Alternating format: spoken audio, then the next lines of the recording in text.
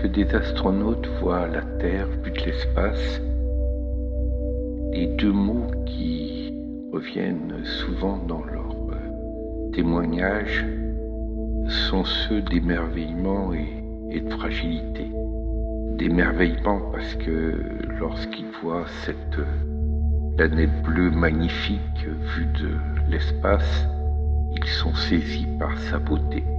Et de fragilité parce que voit bien, ne serait-ce qu'avec la fine couche atmosphérique, à quel point cette planète peut être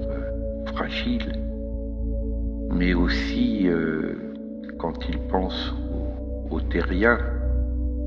ils sont touchés par le fait que eux-mêmes, s'ils euh, n'organisent pas leur vivre ensemble d'une façon satisfaisante, sont capables de détruire leur propre planète, leurs propres écosystèmes vitaux. Ce double rapport à, l'émerveillement et à la fragilité est évidemment euh, aux antipodes de ce qu'est euh, la géopolitique classique, qui ne parle que de guerre, qui ne parle que de puissance, qui ne parle que de frontières, qui ne parle que d'empire. Et euh, si on prend de Machiavel à Raymond Aron,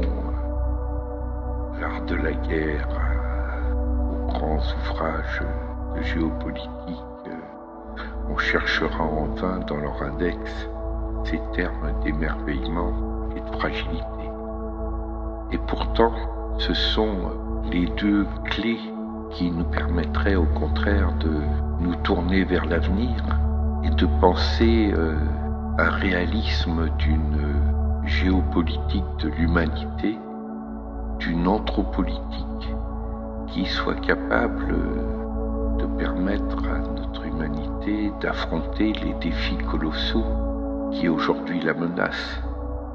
Le dérèglement climatique, le risque d'une sixième grande extinction de la biodiversité, et aussi ce risque dont on parle moins, celui d'un hiver nucléaire non volontaire produit par l'automatisation des armes de destruction massive fait que les systèmes de détection peuvent confondre des phénomènes météorologiques, des chutes de satellites avec des tirs de missiles ou l'instrumentation par euh, un cyberterrorisme de la fragilité de ces systèmes de repérage et de détection. Donc l'humanité est de plus en plus confrontée à la question est-elle un bien commun pour elle-même? Y a-t-il un désir d'humanité plus fort que les logiques de rivalité et de guerre qui par le passé euh, ont opéré tant de destruction mais qui pourraient cette fois la menacer comme espèce? Et cette approche peut paraître utopique, idéaliste, l'émerveillement et de la fragilité devient au contraire le point d'appui, le levier sur lequel construire des politiques publiques de l'humanité, celles qui permettraient par exemple si une partie des terres euh, devient inhabitable du fait de la montée euh, du niveau des eaux, du fait euh, de grandes sécheresses, fait de phénomènes météorologiques extrêmes qui se multiplient, tels que les cyclones, euh, les grandes tempêtes, de pouvoir euh, redevenir nomade, bouger euh, soit quelques semaines, quelques mois à l'approche d'une catastrophe, bouger structurellement si la terre où l'on est devient inhabitable. Cette question est une question très concrète qui est devant nous,